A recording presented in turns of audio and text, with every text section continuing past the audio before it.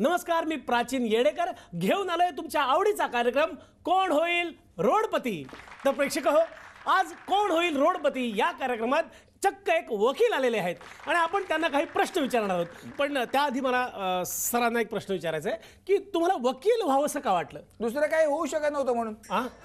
Part of joke पण actually वकील होण्यामागे दोन कारणं आहेत.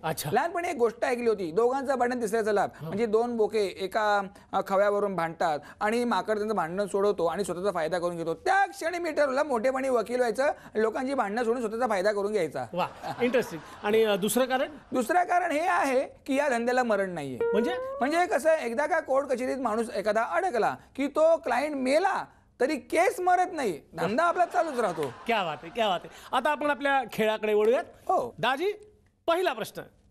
पहिला प्रश्न तुमच्यासमोर आलेला आहे. दोन अधिक दोन किती होतात? तुम्हाला किती पाहिजे?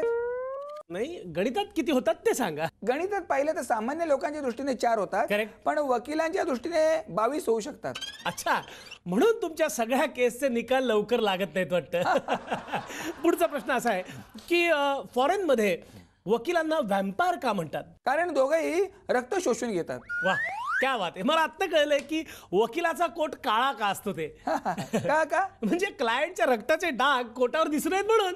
गुड उत्तर. दाजी लॉक करून हो. टाका अ, पुढचा प्रश्न असा आहे की जयंती आणि पुण्यतिथीमध्ये फरक काय? अ, जयंतीला सुट्टी असते मयंतीला सुट्टी नसते. पुण्यतिथीला सुट्टी नसते. ओके पण कोर्टाला एवढ्या सुट्ट्या का असतात मग? काय आहे? सर्वसामान्य माणूस जर कोर्ट कचेरीत अडकला की तो त्या चक्रव्यात एवढा गुरपटतो एवढा गुरपटतो की त्याला बाहेर पडायला वेळच मिळत. नाही. तेव्हा त्याला आपली कामं करता यावी आणि घरादाराकडे लक्ष देता यावं अधूनमधून. म्हणून कोर्टाला सुट्टी असते. अच्छा म्हणजे शहाण्यानं कोर्टाची पायरी चढू नये म्हणतात. ते खरे तर. हा काय? तुम्हाला काय म्हणायचंय? रोज कोर्टाची पायरी चढणारे आम्ही वेडे आहोत. हे पहा तुम्ही कोर्टाचा अवमान करताय. माझी बदनामी करताय. मी तुम्हाला कोर्टात खेचीन तुमच्यावर केस अरे देवा आता काळजी करू नका. तुमची केस मीच लढेन. हा? मीच तुमचा वकील होईन. हा दुसऱ्या कोणाशी बोलू नका माझ्याशी बोलण्याच्या आधी. ओके?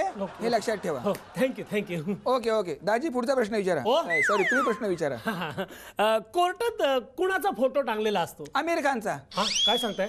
हो आता सत्यमेव जयतेचे राईट त्याच्याकडेच आहेत ना.